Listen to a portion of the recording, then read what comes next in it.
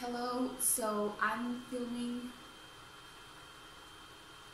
Hi, I'm filming this video to hopefully guide you through the PowerPoint presentation that I sent you. So have your presentation with you, take your notebook, your book because you might need it.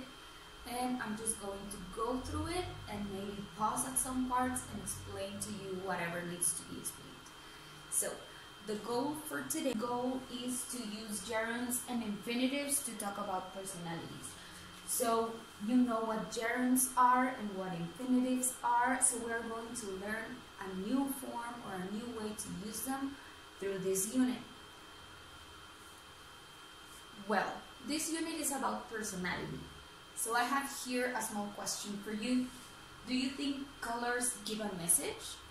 Is it the same to um, make an advertisement like a McDonald's advertisement with green or yellow or red? Is that the same? Or do you think that colors give a message? Take a minute to think about it. Here I have some words with different colors. You can hopefully see it.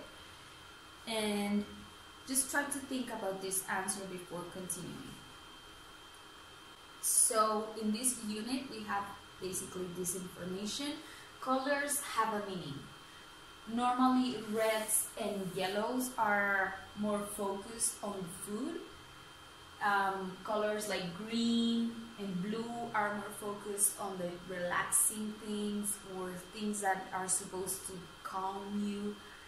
And in the book, it says that pink normally makes you be tired or it makes you feel more tired. So I just want you to take a look at this unit in the book, look at the vocabulary, look at the content by yourself, and here I'm going to focus a little bit more on the grammar. So in page 75, you have a small conversation and you have some idioms. These idioms are I'm pulling your leg, good point, to be on the wrong track and to go with it. This an idiom is an expression used in any language that is not a literal expression. You are not pulling anyone's leg. It is an expression, an idiomatic expression. So take a look at the conversation and guess the meaning of this in the activities from the book. And let's start. Before going to the book's topic, I want you to take a look at this, um, uh, this slide. We have the ing forms. It says, my sister is playing video games right now. Last night my friends were sleeping, but I wasn't. We have the ing to talk about actions in progress. So you can use the verb with ing and you're talking about present continuous, past continuous, present perfect continuous, any continuous tense is talking about an action in progress. So the verb with ing is an action in progress.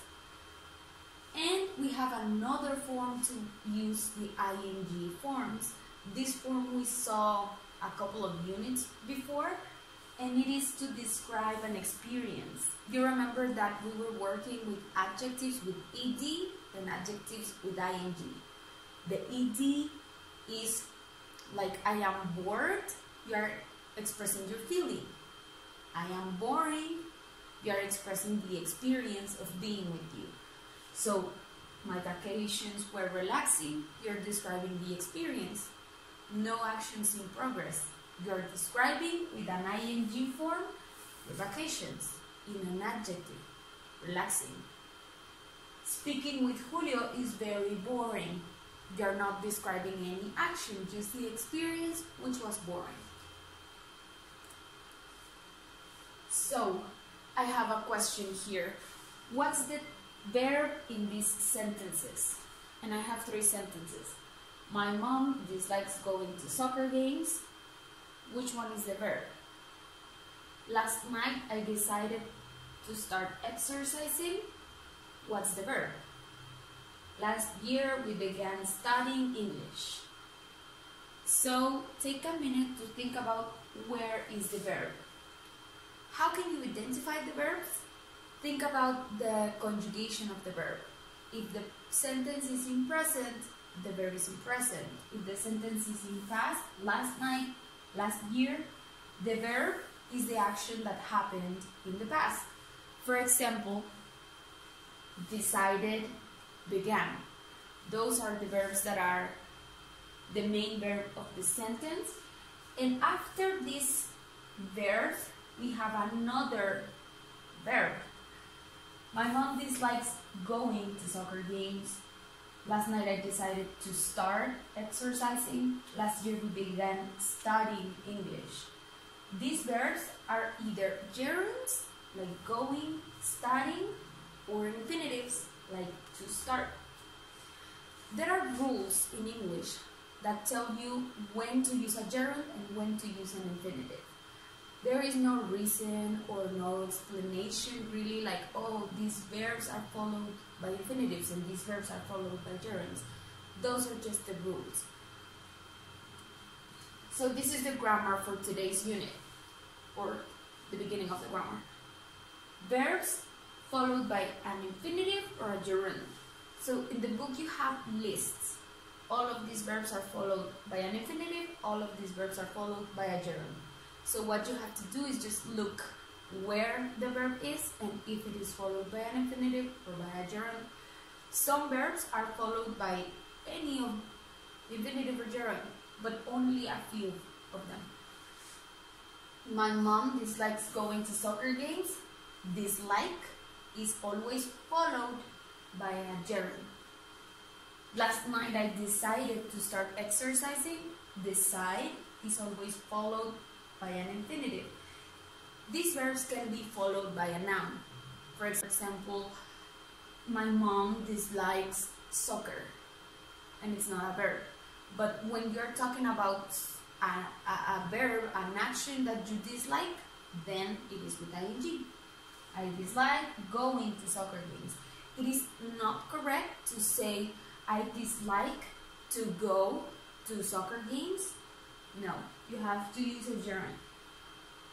Um, the sentence last night I decided to start exercising. You cannot say I decided starting exercising.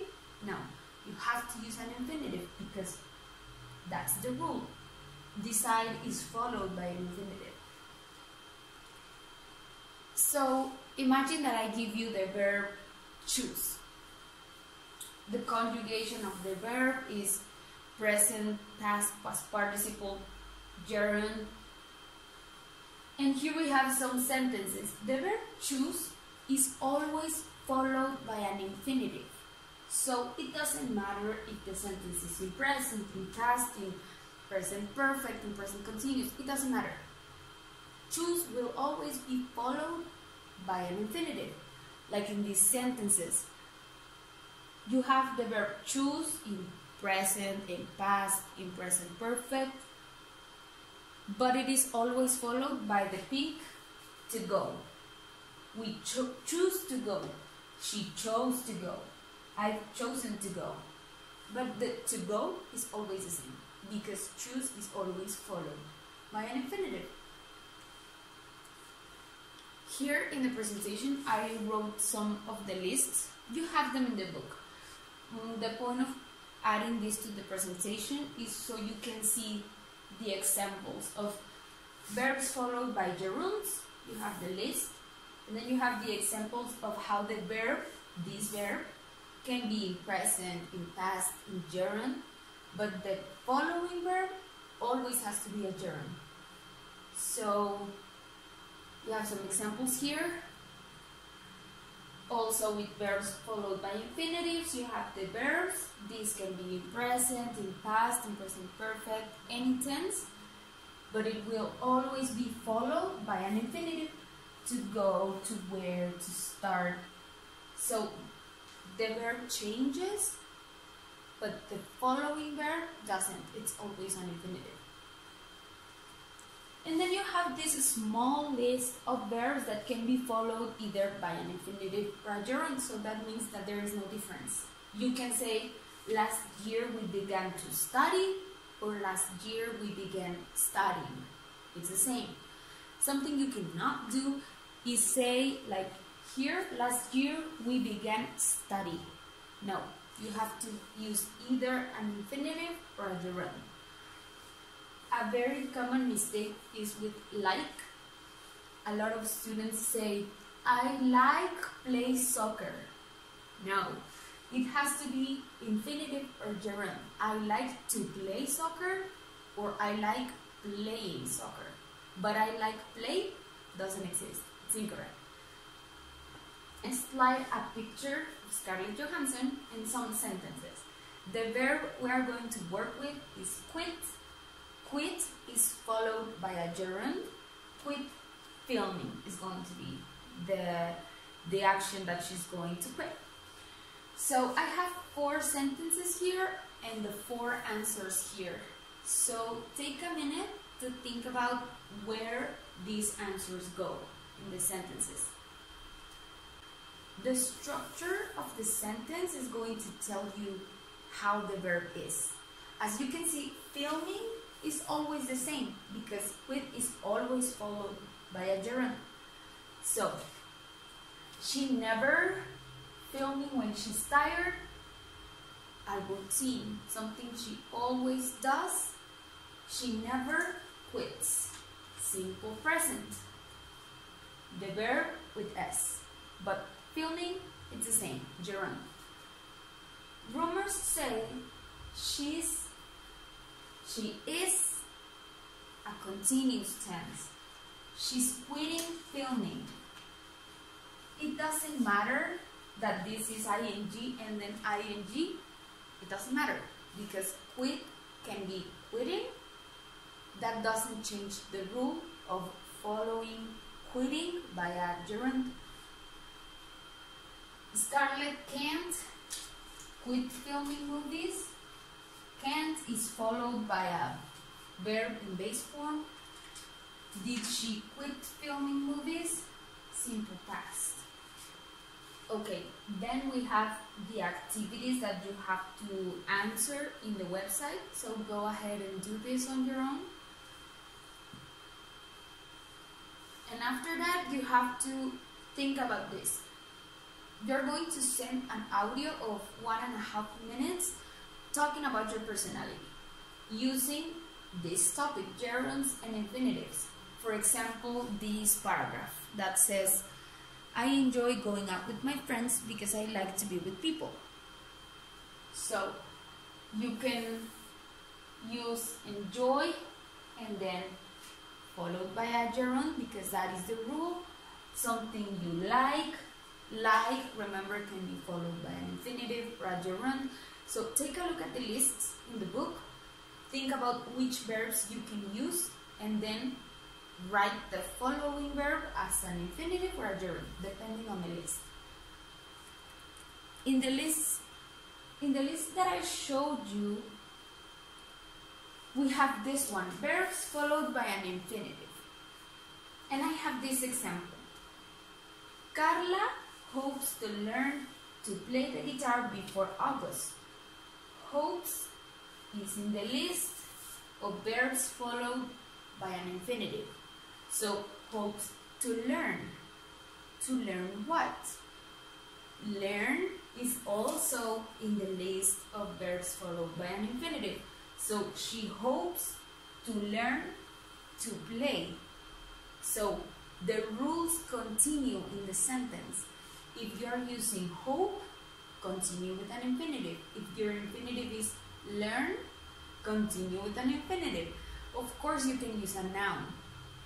You can say, she hopes to learn Spanish. If you are going to continue with another action or another verb, it has to be an infinitive. It doesn't matter if you already have an infinitive. So I have this one as an example that you can do that. So just be careful with that. The rules are always the same. Even if you already applied the rule once, hopes to learn, the rules continue. Learn is in this list. So learn to play. So yes, it is correct to say to learn to play. So by the end of today, you must have sent the activities on my English lab and the audio. Two activities today. And please look at the verbs in the grammar part of the book. I have the page here, so I'm going to put it on the screen. And if you have any questions, make sure to ask me. If not, then see you next time.